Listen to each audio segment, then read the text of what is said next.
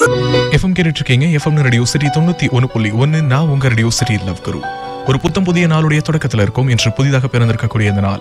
எல்லோருக்குமே ரொம்ப சிறப்பான நாளாக அமையணும்னு அந்த இறைவன் கிட்டையும் மேற்கிட்டையும் வேண்டிக்கிறேன். கூடவே உங்களுடைய பர்சனல் லைஃப்ல நிறைய செலிப்ரேஷன்ஸ் இருக்கும். அதற்கும் என்னுடைய நெஞ்சார்ந்த வாழ்த்துக்களை சொல்லிக்கிறேன். அது இன்னைக்கு நம்முடைய ஷோவில் நான் உங்ககிட்ட பகிர்ந்துட்டு இருக்கக்கூடிய வாழ்க்கை பதிவுக்கு சொந்தக்காரர் ராகவன். ராகவன் தொடர்ந்து பேசினாரு. Love Guru just two months gap ரெண்டே மாசம் இடைவெளி. நான் திரும்ப பேசும்போது அவங்க என்னுடைய அம்மாவா என்கிட்ட பேசல. அந்த அளவுக்கு பொண்ணுங்களால டக்குன்னு மாறிட முடியுமான்னு எனக்கு தெரியல. அதனால நான் ஒட்டுமொத்த பெண்ணினத்தையும் தப்பா பேசல. ஆண்கள் ஒரு ரிலேஷன்ஷிப்ல உறுதியா இருக்க போறது இல்லை அப்படின்னா அவங்களுடைய நடவடிக்கைகளை அதை காட்டி கொடுத்துரும். அங்கங்க தப்பு பண்ணுவாங்க சொதப்புவாங்க கேர்லெஸ்னஸ் உணர்த்திடுவாங்க. பட் பெண்களால மட்டும் எப்படி அப்படி இருக்க முடியுதுன்னு தெரியல. என்னுடைய அப்பாவும் அம்மாவும் அவங்க வீட்டுக்கு போயிட்டு பேசிட்டு வந்த அன்னைக்கு என்ன நடந்தது அப்படிங்கிறது எனக்கு தெரியாது. பட் ஆஃப்டர் டூ மந்த்ஸ் அவங்க என்கிட்ட பேசும்போது அவங்க என்னுடைய அம்மாவா பேசல. சின்னோண்டு ஒரு வார்த்தையில நீ வேறங்கிறத உணர்த்திட்டாங்க. நீ வா போ வாடா போடா அப்படிதான் பேசுவாங்க. நீங்க என்ன சொல்றேன் அம்முன்னு இல்ல இந்த டிஸ்டன்ஸ் கூட நல்லா தான் இருக்குது. அந்த ரெண்டு மாசத்துல நிறைய விஷயங்கள் புரிஞ்சிருக்கு நாங்க. என்ன புரிஞ்சதுன்னு இல்லை அம்மா அப்பாவுடைய இம்பார்ட்டன்ஸ் எவ்வளோன்னு புரிஞ்சிருக்குது? அண்ட் um, அவங்களுக்கு பிடிக்காத அல்லது அவங்க சாபம் விட்டு வாழக்கூடிய ஒரு வாழ்க்கை நமக்கு வேணுமாங்கிற கேள்வி மனசுக்குள்ளார வந்திருக்குது. உங்ககிட்ட அதை பத்தி பேசணும் ராகவன் நாங்க என்ன பதில் சொல்லியிருப்பீங்க நீங்க அந்த சுச்சுவேஷன்ல இருந்தா என்ன சொல்லியிருப்பீங்க லவ் குருன்னாரு எனக்கு வார்த்தைகள் வரல மௌனமா இருந்தேன்.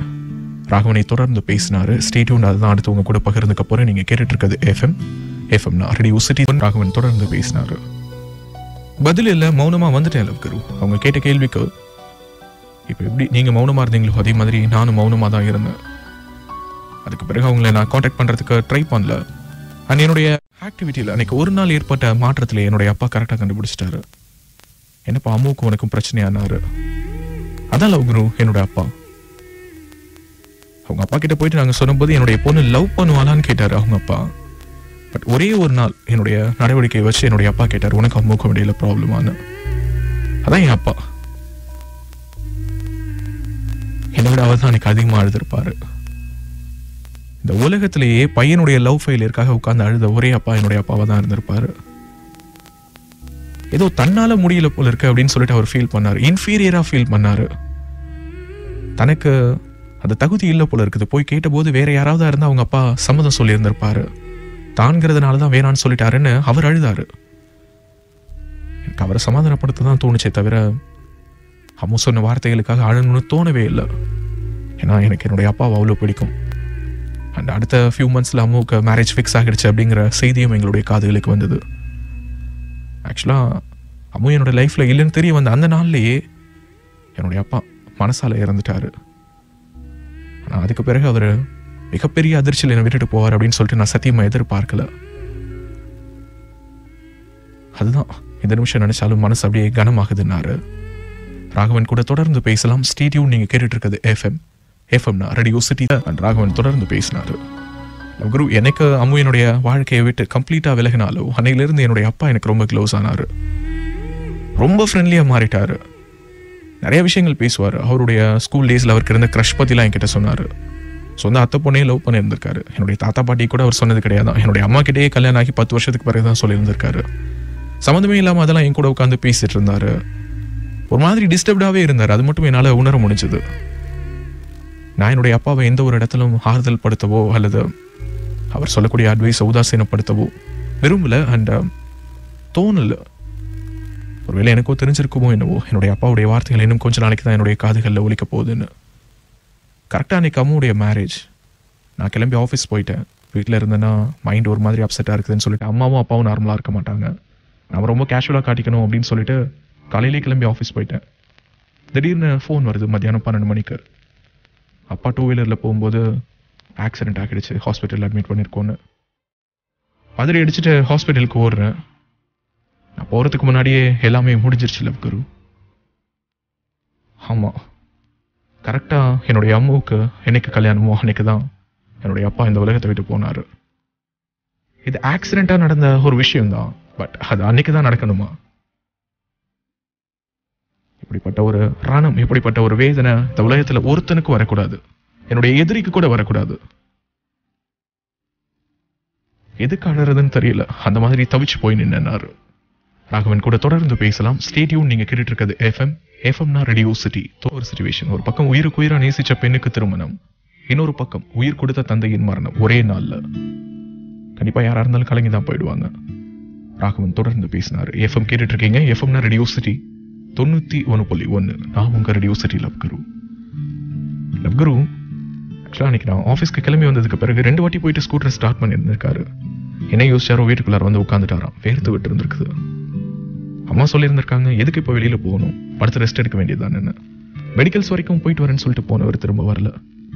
அவருடைய மைண்ட் முழுக்க பல சிந்தனைகள் ஓடி இருந்திருக்கும்ல லவ் கரு இவ்வளோ ஆசை ஆசையா? தன்னுடைய வீட்டு நான் நினைச்ச ஒரு பொண்ணு இன்னைக்கு வேற ஒரு வீட்டுக்கு போறாளேன்னு துடிச்சிருப்பாரு. மைண்ட் ஏதோ டிஸ்டர்ப்டாகவே இருந்திருக்கும்னு நினைக்கிறேன். அதான்.